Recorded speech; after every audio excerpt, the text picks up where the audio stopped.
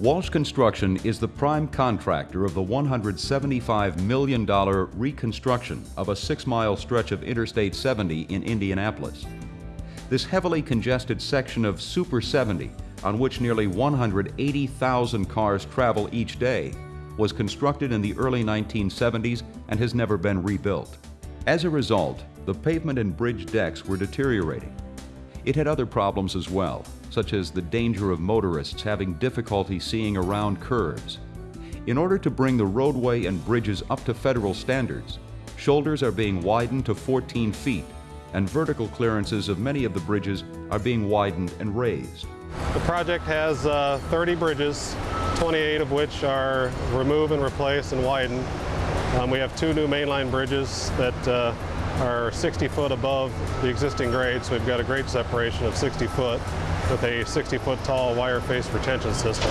The 28 bridges that we're rehabilitating, we are jacking those bridges up and putting them to a new profile to meet FHA standards. The, the pavement section itself in this job is also a little unique uh, to other projects. We do have a 12 inch layer of crushed aggregate from the concrete that was removed from the job, a 6 inch layer of virgin 53s, a 3 inch layer of 8s, and a 16 inch layer of pavement. We are also reconstructing 28 bridge decks. On each existing bridge, we begin by driving piles for columns and end bents. We then pour substructure work for the columns, set new beams, intact the old bridge, and take the old deck off, pull the rebar out of it, and take the concrete to the crusher. We then process the site into 53s, using limestone gravel for a 12-inch layer of aggregate crushed.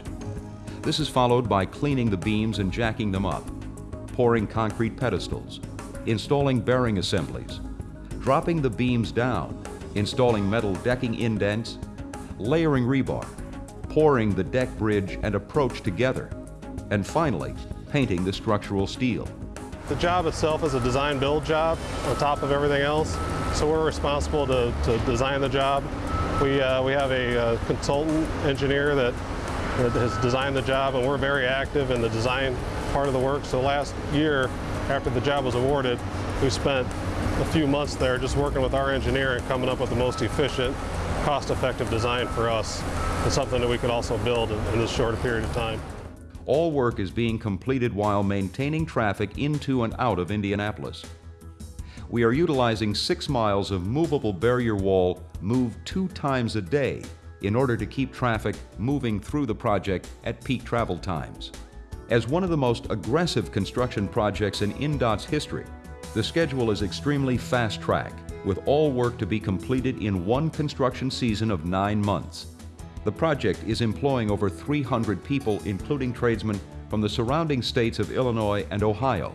We have 300 employees out here right now, um, trying to, to put together the resources and all the materials that it takes to put something like this together. It's been, I think, a little bit different than what we've normally done. We've done very fast-paced work before in the state of Indiana, but nothing to this, to this magnitude. The work schedule has been mostly seven days a week and over 14 hours per day, with some activities running around the clock. This has made it difficult to keep a consistent workforce at all times. Construction will be completed in phases. The first phase on the five-lane north side of I-70 took place from March through July, with two-way traffic maintained on the south side of the interstate.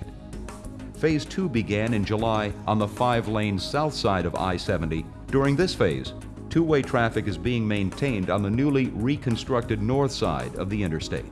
In both phases, two lanes of traffic are designated for each direction. The middle lane is being used as an express lane, which changes its traffic direction use by the movement of barricades, allowing for the morning or afternoon rush hour to have three available lanes. The project presents a number of challenges in addition to the heavy volume of work to be completed in a very limited time frame. We are spread out for six miles. Access and egress uh, was an incredible challenge. We had to build a lot of temporary roads off of side streets to be able to access the project. Because once you start removing bridges, you lose access through the project. So you have to allow for temporary access.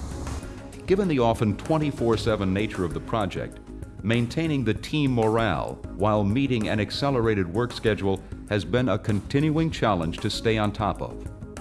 We've rotated schedules and given weekend time off whenever possible. As it is with all our projects, safety is a prime objective, so we focus daily on achieving it. Most of our safety concerns have been driven by the pace of the project. While there are always safety concerns on every project, fatigue, morale, and hundreds of new employees have created potential hazards that a typical project doesn't see. We have, again, 30 bridges, so you have fall protection that need to be employed on every bridge. And obviously, we're working on some city streets, so traffic concerns are a must. And we have a full-time um, safety engineer on the job and an EMT on the job to help with that as well. Walsh Construction has built some very successful fast-track highway projects in Indiana previously.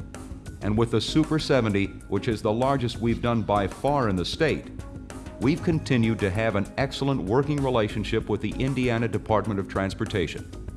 This project is incorporating formal partnering with a facilitator, which has helped to keep issues out in the open and maintain positive partner relations.